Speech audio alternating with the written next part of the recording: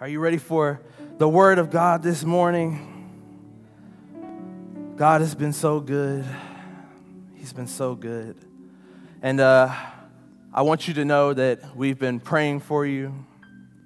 You know, none of us ever thought that uh, all of this, all of these things would be happening in the world at one time, and we've had to learn how to uh, interact with each other differently, and many people uh, personally have been affected, and many people directly and indirectly have been affected by what's going on. And I mean, even us going to church, um, no one expected God to, except, God, expected this to carry on for as long as it has. And, you know, even though all of this has been going on, how many of you know that it's still a good day?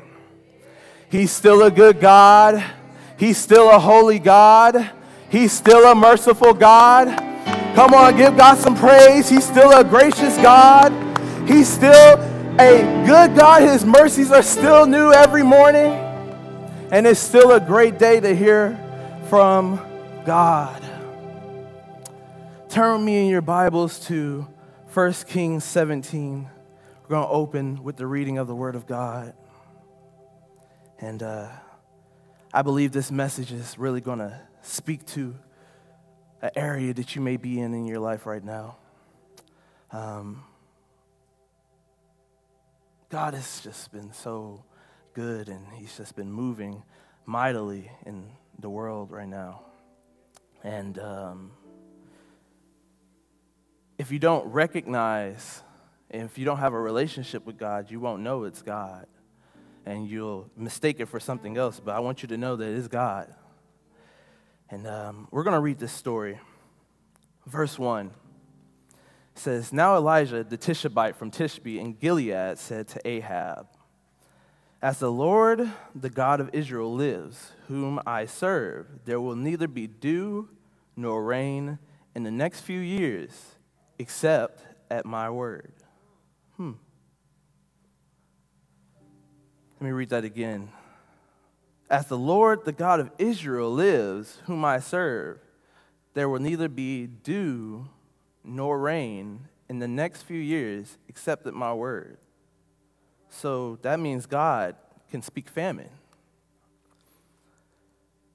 And then the word of the Lord came to Elijah Leave here, turn eastward, and hide in the Kerith ravine, east of the Jordan. You will drink from the brook, and I have directed the ravens to supply you with food there. So he did what the Lord told him. He went to the Kerith ravine east of the Jordan and stayed there. The ravens brought him bread and meat in the morning, and bread and meat in the evening, and he drank from the brook. Sometime later, the brook dried up. There had been no rain in the land. Then the word of the Lord came to him Go at once to Zarephath in the region of Sidon and stay there. I have directed a widow there to supply you with food. So he went to Zarephath, and when he came to the town gate, the region, when he came to the town gate, a widow was there gathering sticks. He called to her and asked, would you bring me a little water in a jar so I may have a drink? As she was going to get it, he called, And bring me, please, a piece of bread. As surely as the Lord your God lives, she replied, I don't have any bread, only a handful of flour and a, in a jar and a little olive oil in a jug. I am gathering a few sticks to take home and make a meal for myself and my son that we may eat it and die. What a sad situation to be in. Elijah said to her, Don't be afraid. Go home and do as you have said, but first make a small loaf of bread for me from what you have and bring it to me. And then make something for yourself and your son. For this is what the Lord, the God of Israel, says The jar of flour will not be used up, and the jug of oil will not run dry until the day the Lord sends rain on the land. she went away and did as Elijah had told her. So there was food every day for Elijah and the woman and her family, for the jar of flour was not used up, and the jug of oil did not run dry, in keeping with the word of the Lord spoken by Elijah. And uh, we may not know what God has scheduled or plan for tomorrow, but I want you to know that He's still going to provide. He's still going to take care of you, even when the economy is failing, even when governments may be dysfunctional, even though you may have lost your job, even though you may be at your wits' end. God brought me up here this morning to tell you to be in peace and not to worry. He said to be in faith and not doubt because He's going to feed you in the famine. And that's my message title for today. Put it in the chat, say it in uh, the sanctuary fed in famine. Father God, we thank you that you are a good God.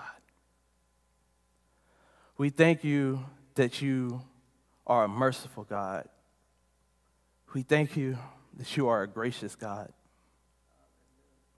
God, let these words that come out of my mouth come from you, come from your spirit. Speak to your people, change their lives. Let them know that you're with them, that you are a provider, that you are a deliverer. God, let them know that you are God in the famine and you are God in the rain. God, we know you never leave us, you never forsake us. And we thank you for your presence guiding us and being with us every step of our lives. We love you. We adore you. We praise you, God in Jesus' name. And everybody said, Amen. You ready for the word of God this morning? All right, if you're ready, say it with me. My life is being maximized as I'm taught the word of God. The word of God is maximizing my life. You know, uh, I've noticed in my life and that God, He works in processes.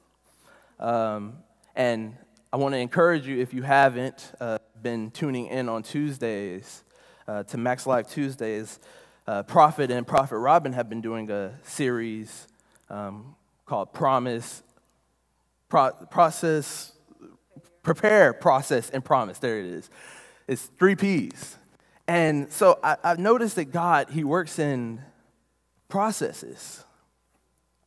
It's never just one step, it's never something easy and you're done.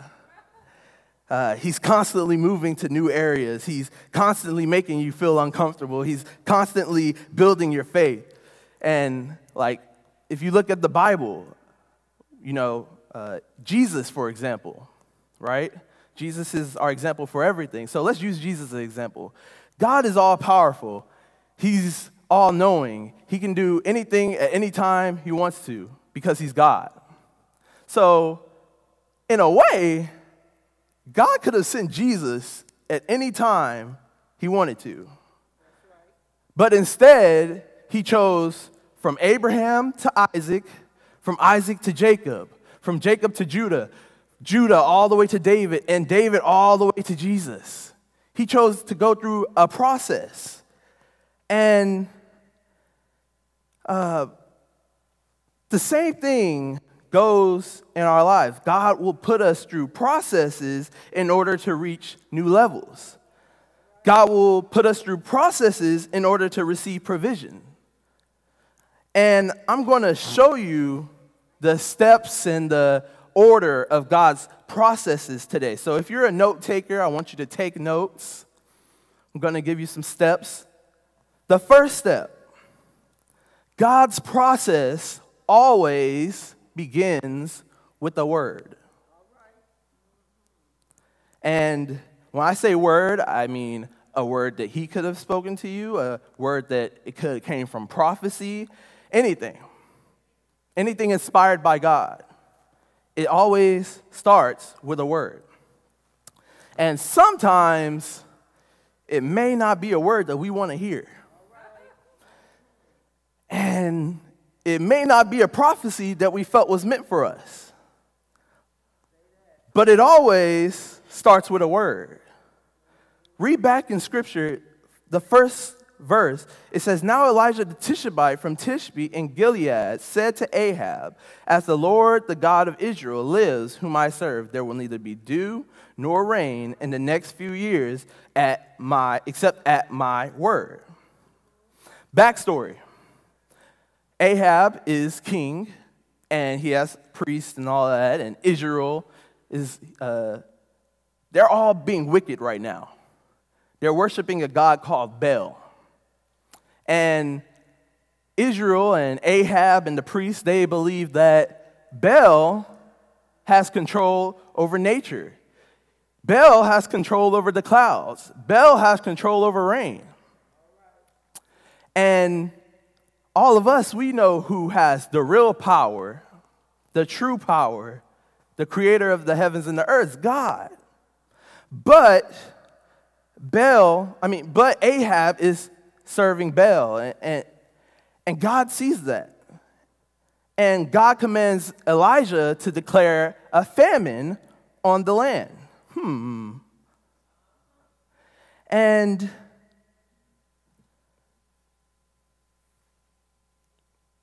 not only does the famine affect Ahab, the priest in Israel, it also affects Elijah,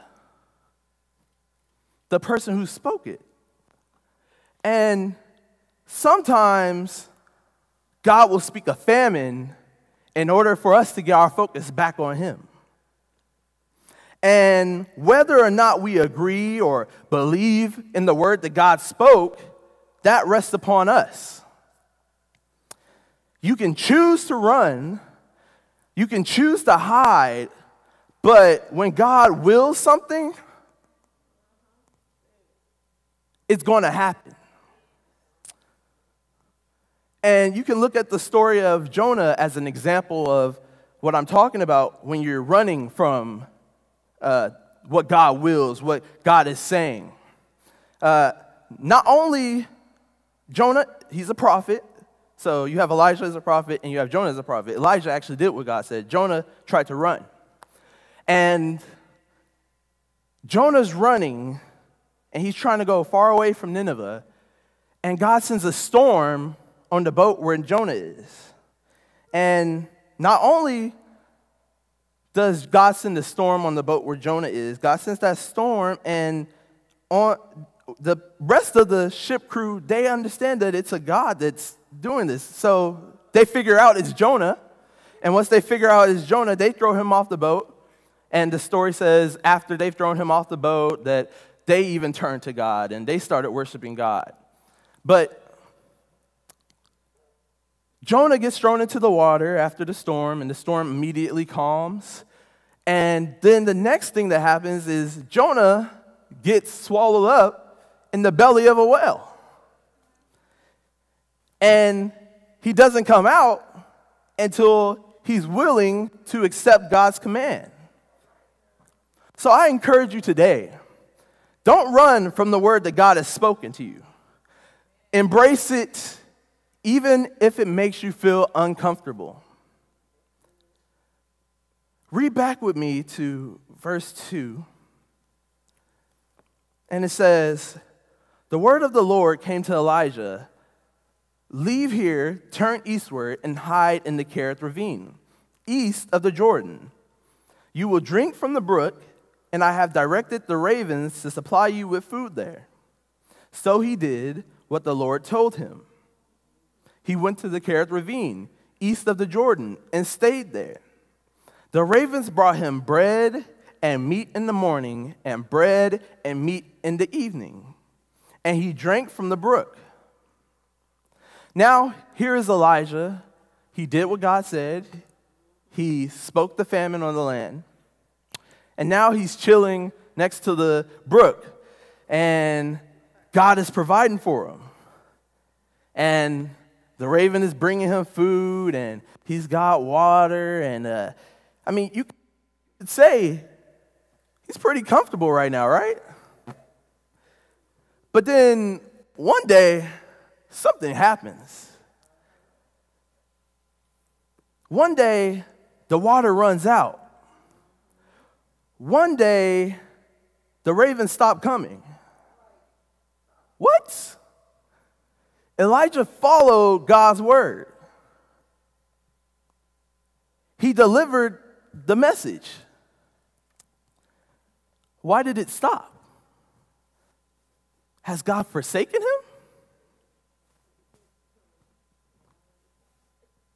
And maybe that's you. God, I, have been serving. God, I, have been obedient. God, God, I've been reading my Bible. God, God, I've been tithing. And, and God says, I know. And that's all well and good. But now it's time to move. You've gotten too comfortable. Step two of God's process God will make you uncomfortable. Have you ever been too comfortable before? I know when I'm at home, sometimes my mom, I'll, if I'm laying on the couch downstairs, I don't usually come out of my room, but sometimes on the rare occasion that I do, I'll lay on the couch and uh, my mom will come in and she'll see me laid up on the couch. She's like, You comfortable? Uh, and have you ever been comfortable before? See, when, when you get too comfortable, you lose your imagination. When you get too comfortable, you start to take things for granted. When you get too comfortable, you don't move. And it's an interesting story. The children of Israel, right? God delivered the children of Israel out of so much. God delivered them out of the hand of Pharaoh. He delivered them through the 12 plagues. He helped them across the uh, Red Sea. And through all of that, Exodus tells us that they still complained. They said, If only we had died by the Lord's hand in Egypt, there we sat around pots of meat and ate all the food we wanted. But you have brought us out into the desert to starve, this entire assembly to death. And isn't it sad? God has delivered the children Israel, the children of Israel out of Egypt, and he's getting ready to bring them to a promised land. And they're complaining because they're uncomfortable. You know, what's the opposite of complaining? Thankfulness. Sometimes we just have to be thankful. I said, sometimes we just have to be thankful. We just have to be thankful. If God woke you up this morning, you should be thankful. If you have clothes on your back, you should be thankful. If you have food to eat, you should be thankful. Because He's a supplier even in famine, even when the economy is failing, even when I'm afraid, even when the world seems to be falling apart, God, you're my provider, you're my keeper, you're my deliverer. It says, I look, I put my eyes to the hills where my help comes from. My help comes from the Lord, the creator of heavens and the earth.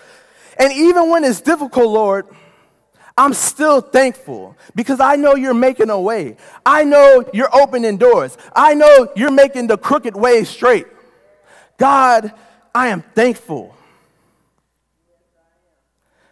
And more than anything, I know you're working all things for my good. One thing God has been talking to me about recently is, uh, and it's about purpose and my purpose and things like that. And one of the things I discovered about God is He He's He created us and after we sinned, after man sinned, now we're back on a path to get back to God's original intent for us. And when I say that, I mean, in order for us to get back to God's original intent for our lives, we have to get uncomfortable. You know, Jesus died for our sins. So when Jesus died for us, when we make that relationship with Jesus, if anybody here has, uh, when you found Jesus, you can't say you're the same from when you first found Jesus. He's changed things, He's changed you. And that process of change is us getting back to the original intent He had for us. The Bible says, I know the plans that I have for you, plans of good and not of evil. And those good plans, those plans that God has, ha- has for you, we have to work back to those plans. We have to make our way towards those plans. And we won't do that if we're too comfortable in the area that we're in. And so, in order for you to move to, in order for God to move you to the next level, in order for God to take you to new heights, He's got to shake up your world. He's got to dry up your brook. He's got to make you uncomfortable. You know, in, in, my life, God has had to shake up some things to keep me moving towards my purpose. And uh, what did I say was the first step? It always starts with a word. God starts everything with a word. And if you're not familiar with my personal story, hi, I'm Kemen Dumas. Um, I was called to preach at the age of three years old. And at the age of three years old, even though I'm young, very young, I have a choice to make. Am I going to accept the call or am I going to run from it?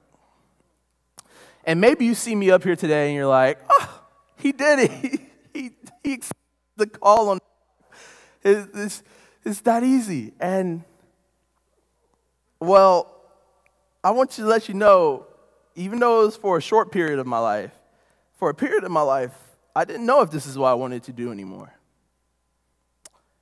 And I was comfortable. I was comfortable in my friend group. I was comfortable staying at home. Am I preaching to somebody? I, I was comfortable eating unhealthy.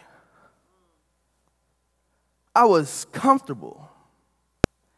And as comfortable as I was, I wasn't moving any closer to my purpose. And God had to shake some things up. He had to take me out of my place of comfort and throw me into the fire so that I could be forged into who He called me to be. And don't be too comfortable in your environment. Don't be too comfortable in your culture. Let the, God shake some things up. Move towards His original intent for your life. Move towards His purpose. And, and another thing I found out about God is He doesn't operate according to what I feel like, He operates according to His will. And what do I mean by that? He's not looking for someone to tell him what to do and how to do it and when to do it. He's looking for some obedience. The Bible says if you're willing and obedient, you'll eat the good of the land. So he's looking for some obedience. He's looking for someone who will receive instructions and follow them. And when we do that, we discover his will. And see, when you find God's will, you find purpose. Uh, everybody knows Romans 8 28.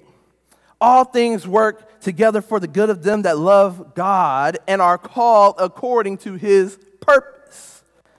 See, when you understand this, when you get a revelation of who God is, when you get a revelation of what God's will is, you aren't worried about famine. Because you know He's working all things for my good. And God says, when you find my will, you find my purpose. And everything concerning my, your life, when you find my purpose, I'm working around for your good. God says, I'm working it for your good. I'm every situation that you're dealing with in life, I'm working for your good. All crisis, any storm, any famine that comes, I'm working for your good. And see, you can't stop the will of God. You can't delay the will of God. You can't rush the will of God. You can yoke up with the will of God. You can be in agreement with it. You can stand in faith knowing, I, this is what I believe. I believe His word. I believe His promise. I believe His plans for my life. I'm going to yoke up with it. I'm going to be in agreement with it. I'm going to walk with what He has planned and what He has purposed because I know He's working things out for my good. I don't have to be fearful. I don't have to worry about the famine because I'm yoked up with God. I'm standing on His promise. He's got me in the palm of His hand. He's working things out for my good. Let's take a few moments to thank God for feeding us in the famine. Thank God that He is working things out for our good. Thank God that He is faithful. Thank God that He is, sees me. Thank God. And you have to believe it. You have to believe it. Reading back at First Kings 17, verse 8.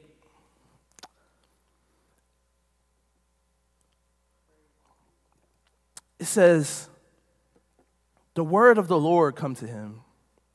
Go at once to Zarephath in the region of Sidon and stay there. I have directed a widow there to supply you with food.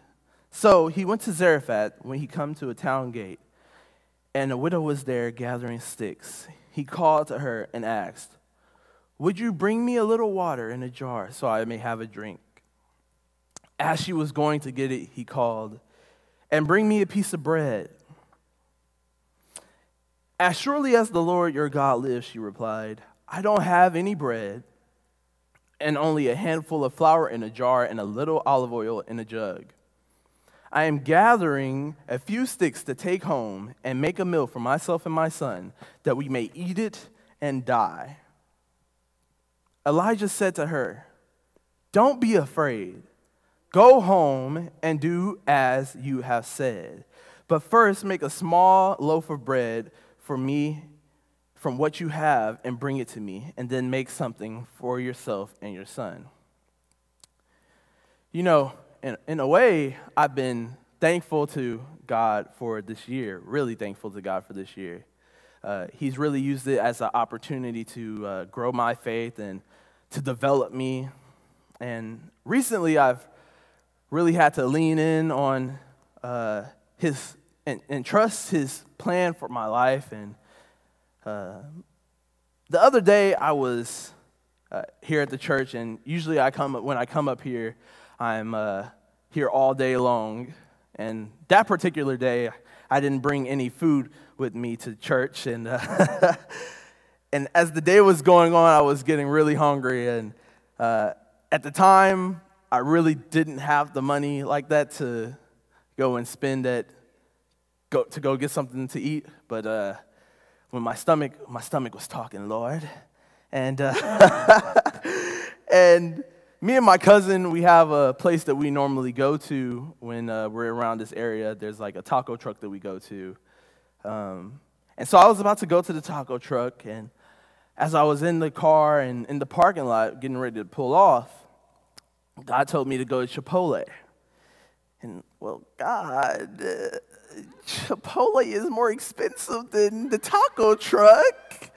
uh, God, I thought you knew everything. Come on. And so, as I'm getting ready to pull off, God's like, go, go to Chipotle. And although I was unsure and whatever. I, I, I decided to follow God and I went to Chipotle. And so I walk into Chipotle and I get in line, and then I run into my Aunt Teresa, who just happened to be there at the same time that I was there. And I greeted her, of course, and said hello and gave her a hug. And um, it's okay. We, I work with her all the time, so it, social distancing, I know, but I gave her a hug anyways. Anyways, I got in line and went about my business and uh, ordered my stuff and was going down the line. And when I get to the end of the line, I find out that she took care of my food. And it's so funny. Just when I was at my last little, God provided. And notice this I had a choice to make. Either I move in faith on the word that God gave me, or I follow my own voice. And here comes the third pointer of what I'm telling you today about the processes of God. God will test your faith. Sometimes God will test your faith to see if you believe in His word. You know, it's not enough to just say that you believe. The Bible says if you're willing and obedient, you'll eat the good of the land. That's two instructions. You have to be willing and you have to be obedient. And see, that's faith. Faith is when I'm willing and obedient. I want you to write that down. Faith is being willing and obedient. Willing. That means I believe. Obedient. That means I'm acting. Faith without works is dead. And when I told you, it, it may seem like something small, but that's what God's looking for. He's looking for your little. The, the Word of God, it says, if you're faithful in the little, I'll make you, uh, uh, you'll be faithful in the much. And if you follow the little things I spoke, then I'll bless you with the mega things. Don't underestimate your little. You know, even in our lives, we look at a little, and, and if you go back to the scripture, it says, Elijah said to her, Don't be afraid. So obviously, he recognized that she had a sense of fear. She was afraid because, well, that's my last little. And sometimes that last little that we try and hold on to is that little piece that God's going to use to bless us and continually bless us. And a lot of the times we look at that last little and we're scared to give and we're scared to uh, uh, put our trust in God and our finances and things like that. When God's saying, if you just give me your last little, I can make you ruler of much. I can bless you beyond belief. Give God your last little. And now, verse 14, I'm getting ready to close. Verse 14, it says, For this is what the Lord, the God of Israel, says The flour will not be used up, and the jug of oil will not run dry until the Lord sends rain on the land. She went away and did as Elijah had told her. She was obedient. So there was food every day for Elijah and for the woman and her family. For the flour, jar of flour was not used up, and the jug of oil did not run dry, in keeping with the word of the Lord spoken by Elijah. The last step to this process God will provide. And we've reached that last step provision. And God is saying, if you just follow my steps, if you're willing to get uncomfortable, if you're willing to listen to my word, if you're willing to have your faith stretched, I will provide. I will provide. And after all of that,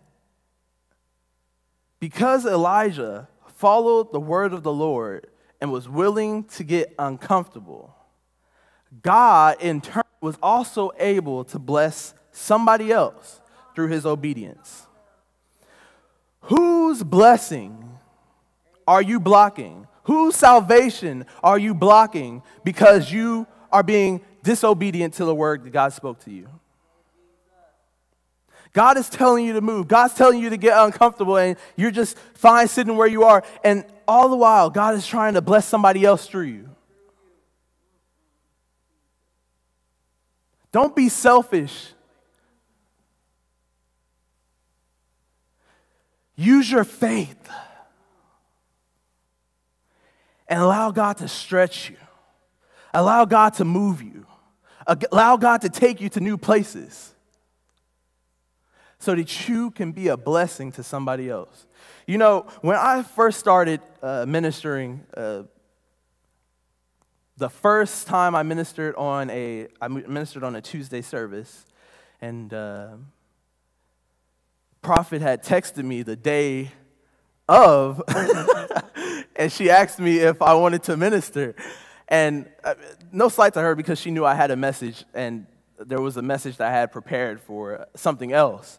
And uh, she asked me if I was wanted to minister, and I remember looking at that text message and putting my phone down. I looked at that text message. I said, "Oh no, man!" I put that phone down, and God spoke to me through my brother, um, Saul, Pastor Esau, and he told me, "When God gives you that opportunity, you need to take it." And uh,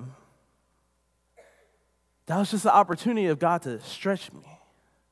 That was the opportunity of God to grow me. Imagine if I didn't walk in the purpose and walk in the calling that God has for my life. You know, my biggest purpose, my biggest thing in life is for people to get saved. I want to see my friends saved. I want to see people I don't know saved. And if I didn't decide to take that call, answer that text message, Say, Yes, ma'am, I'll do it. If I didn't respond to the word, I could have blocked somebody else's blessing. I could have blocked somebody else from getting to Christ. Don't ignore the word that God spoke to you. And if you follow God's process, God says your, your flour will never be used up and your oil will never run dry. I speak that over you today. Your flour will never be used up and your oil will never run dry. Brother Brudra, I speak that to you. Your flour, it'll never be used up and your oil will never run dry. Teacher Natasha, I speak that over you. Your flour will never be used up. Your oil will never run dry. Daniel, I speak that over you today. Your flour will never be used up, and your oil will never run dry. Oh, Father, shake it